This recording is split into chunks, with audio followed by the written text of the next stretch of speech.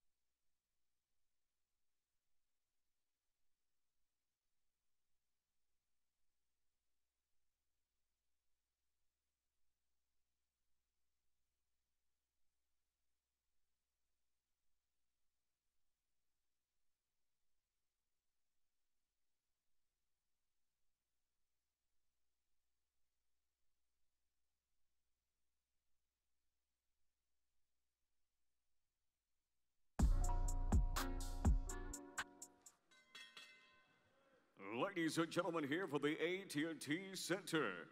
The official time comes to you in the third round, 217, as a referee, Mark Calo-oy, waves this contest to a halt to the winner by TKO and still undefeated from Houston, Texas, Darius DFG Fulghum.